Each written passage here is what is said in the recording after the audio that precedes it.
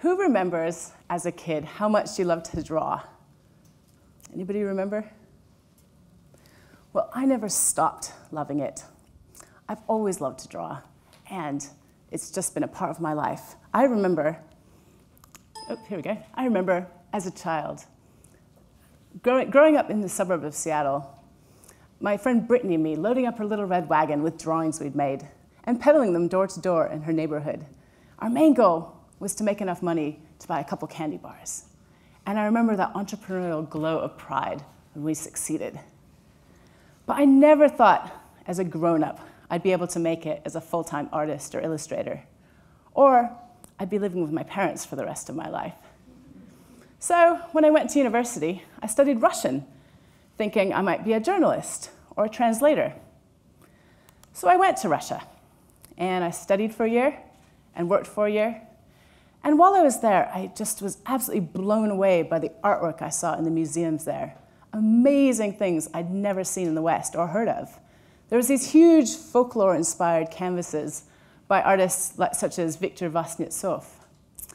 But I was also very taken with some of the um, more pared back artwork by some of the revolutionary and avant-garde artists. People who um, would just maybe use one or two colors here you can see some early examples by Olga Rozanova and Natalia Goncharova.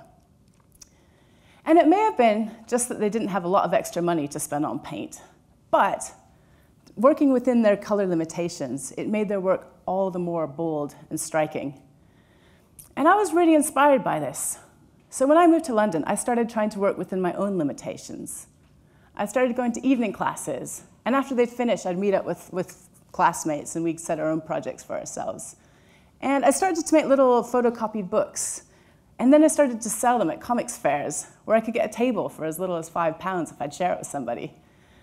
And at the age of 30, I did go to art college and did a part-time two-year course studying illustration.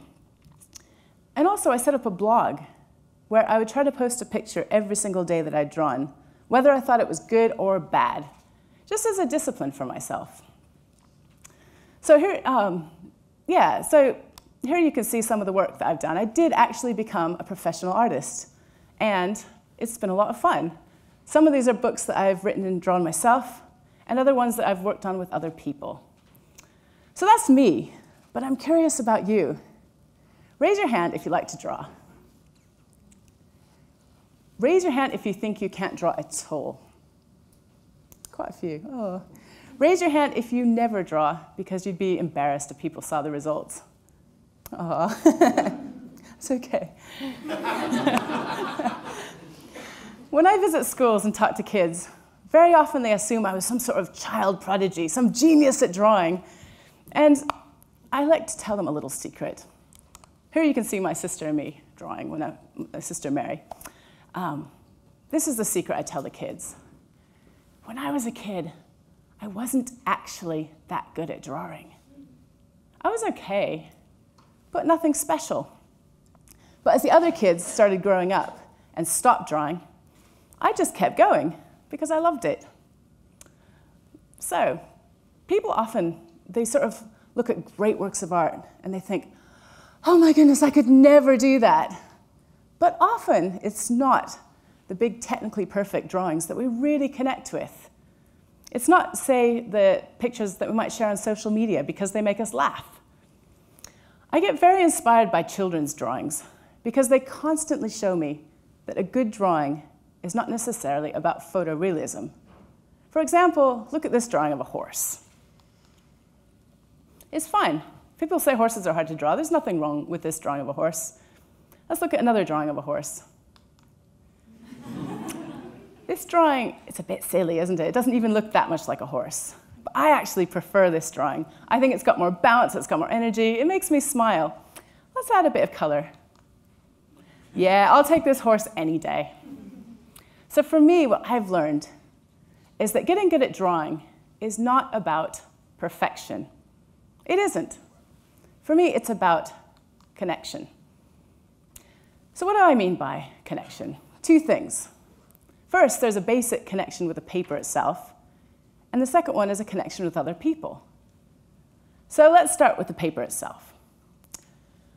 I often meet people who have great ambitions to create an epic graphic novel, maybe 200 pages or more.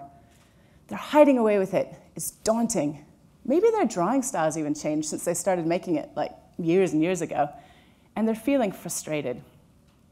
Very often, these epic projects never happen.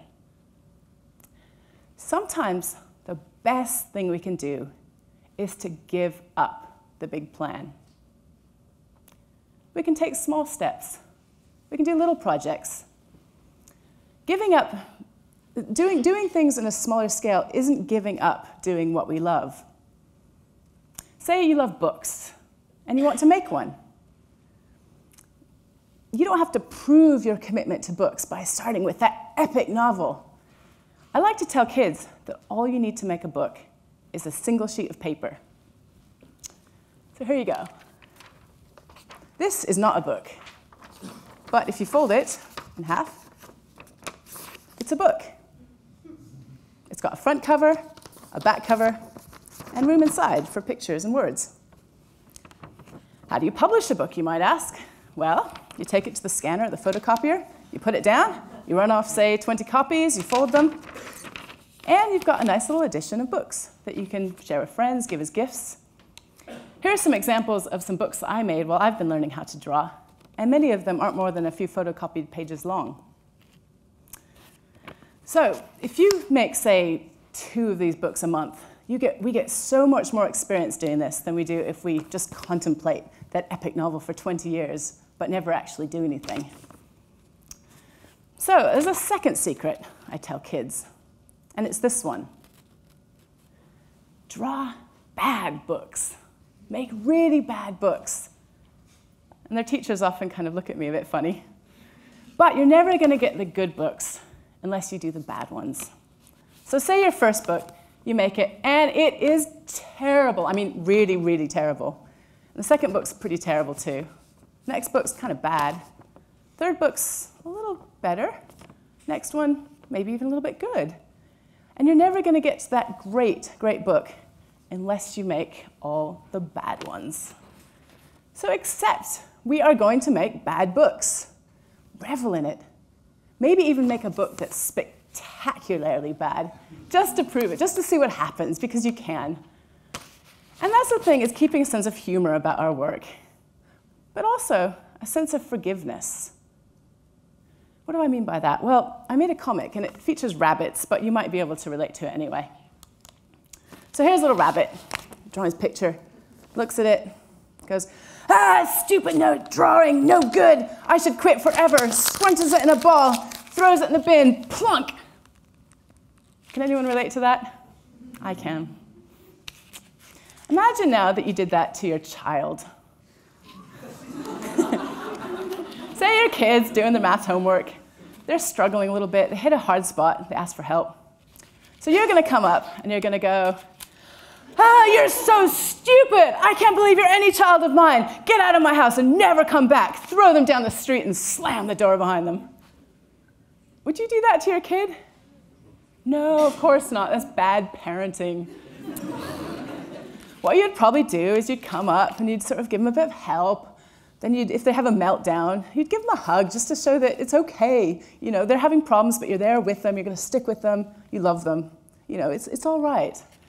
And sometimes we need to do that with our drawings.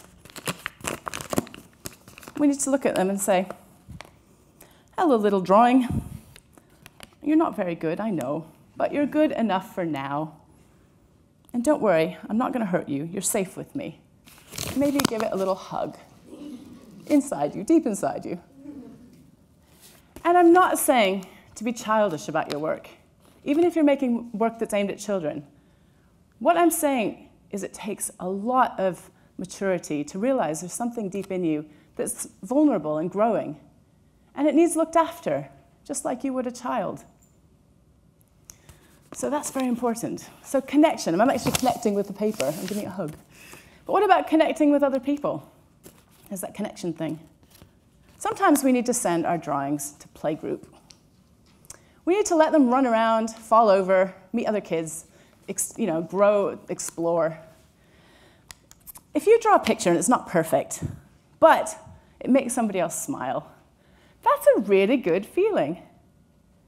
Or if you come up with a joke together and you both have a laugh, that's such a boost. So I run a, a, studio group online. It's a virtual studio on Twitter called Studio Tea Break. And a lot of people gather there to do drawings who might just be feeling a little bit isolated. And the drawings that we post are very simple. Here's one called Shape Challenge. And I just put up a shape and people turn it into something. So this one I've turned into a robot. There's another one on Thursdays called Portrait Challenge, and we redraw or reinterpret an old masterpiece. And there's lots of people in our group. We have everyone from an eight-year-old to professional artists to grown-ups who just love to draw but are just looking for an idea of what to draw. And the idea isn't to create a perfect work of art, it's to, it's to try things out, new styles, see how other people tackle things, just kind of have fun. Because often for me, it's the goofball drawing, where I'm not trying too hard or I'm being a bit silly, and I'll suddenly think, oh my goodness, I just discovered a whole new way of drawing. and I'm hoping you might be able to relate to that, whatever field you're in. The benefit of sharing ideas, of being able to find a space with other people where it's okay to be vulnerable and to try things out, where things very well might go wrong, and it's okay. So, it's all about connection, not perfection. We're here at this conference because we all want to connect. So, we can listen to motivational talks all day. But until we actually do some of these things, we never learn. So, you're very welcome to join us at Studio Tea Break on Twitter. But let's get started sooner than that. Let's do a drawing right now. Grab your pens and papers, and I'm going to teach you how to draw a monkey.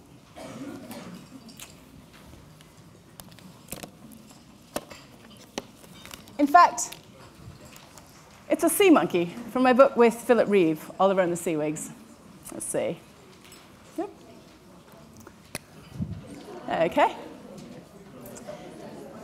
And if you're watching this online, I mean you too, grab a pencil and paper and come draw with us. okay, everyone got a pen? Hold up your pens. Yep, okay. First thing you do to draw a sea monkey is to do a head. So a very big head, just like that. Okay. Now we're going to draw the nose, and it's a bit like the letter M, but it's got three bumps. So it goes boom, boom, boom. And you can make the sound if you want, sometimes that helps. Boom, boom, boom. Okay, now we're going to do the muzzle. And you just take a line here, go down there, line here, and go down there. Now we're going to do a big staring eye. So, sea monkeys are very silly, quite mad creatures. And if yours looks a bit wobbly, that's even better because they are kind of that way. Right, we're going to make the other eye even bigger just to make it look a bit stranger.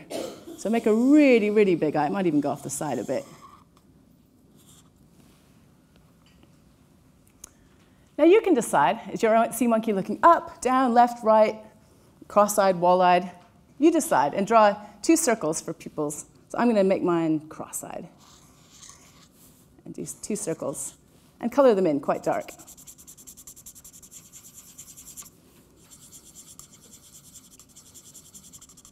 There we go. I was looking at you.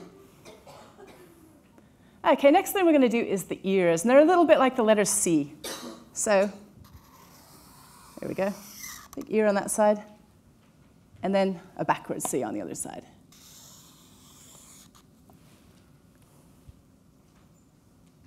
Now you just do another little C inside for the inner ear.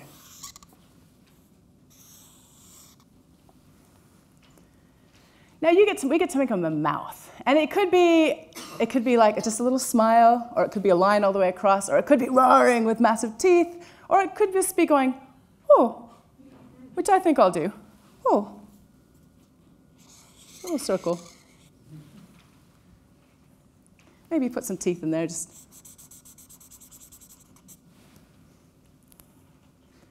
Now I have a really cool way of drawing bodies that just kind of you don't have to worry about necks and shoulders and all these things. You just draw an upside down U. So like that. It's very easy. And then do another sort of shallower U inside that. And you have a body. That was really easy. Okay, now we're going to draw the feet. And they're a bit like little skis. It's a ski monkey. So there we go. Two little lines like that. And then you stick two more little lines on them like chicken feet. So like that, that, that, that.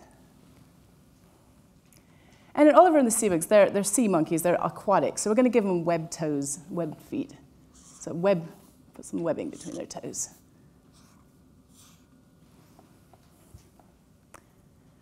Now, we're going to draw the arms, and they're really easy. They just go shooting off his body like that.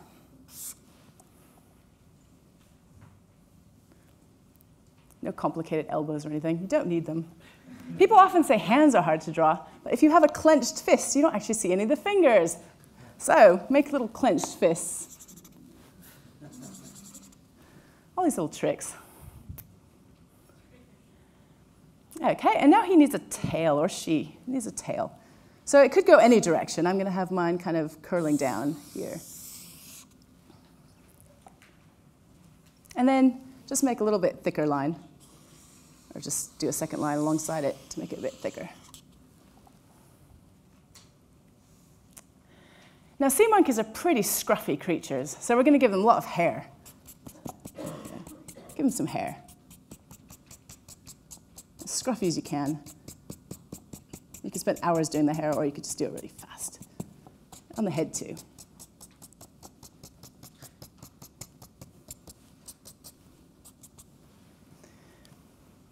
And they're, they're so gross and disgusting. They kind of cry, crawl out of seaweed.